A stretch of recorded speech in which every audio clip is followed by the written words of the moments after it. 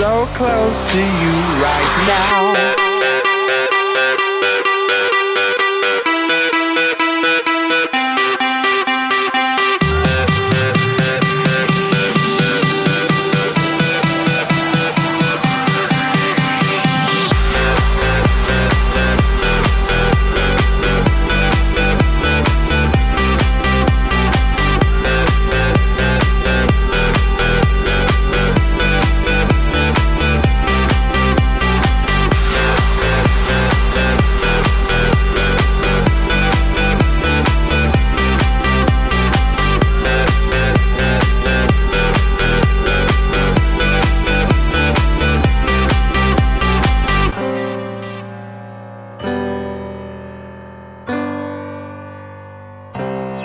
home.